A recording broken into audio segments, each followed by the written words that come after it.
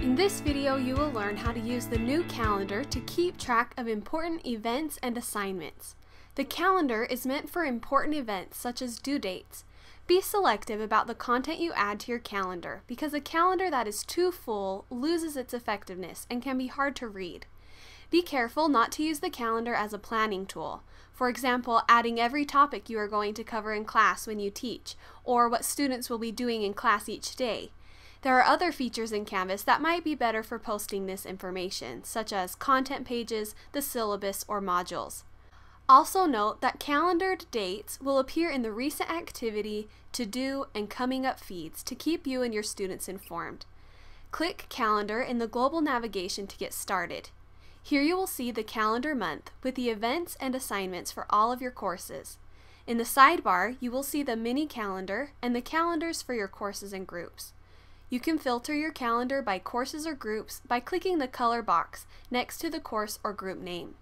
You'll also notice a calendar with your name. This is your personal calendar, where you can add events and reminders to help you stay on track. Change the view of the calendar to week or month, or view the scheduler if enabled, and use it to have students sign up for appointments. Be aware that not all institutions use this tool, so you might not see this option. Click the arrows to view the previous or next week or month, depending on which you are viewing. To add an assignment or event to your calendar, click on the day, or the plus icon at the top of the calendar. Then select either the Event or Assignment tab. Select the Event tab to schedule a meeting, study session, test prep, etc. Select Assignment to add an assignment that has a due date and involves a submission of some kind.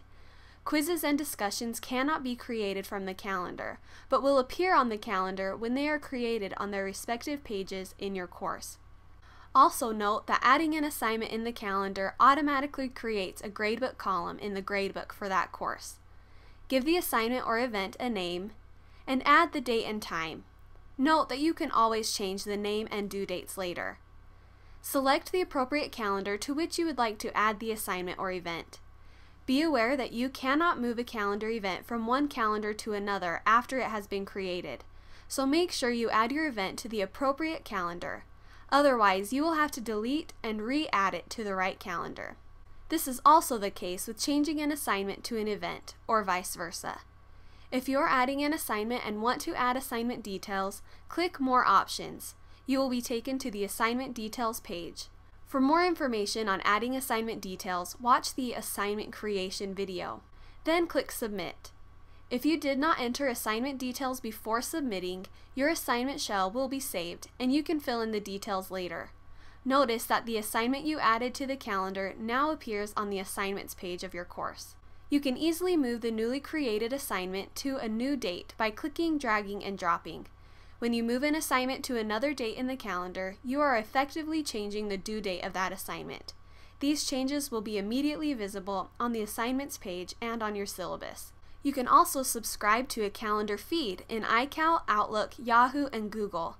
Click the calendar feed link at the bottom of your sidebar. Copy and paste the link into any calendar app that takes iCal feeds. For details on subscribing to the calendar feed in specific calendar applications, see the Canvas guides. You've now completed this tutorial video on the calendar. For additional information on this or any other topic about Canvas, just visit help.instructure.com. Also, if you have any feedback about this video, please share your thoughts at instructure.com slash video survey.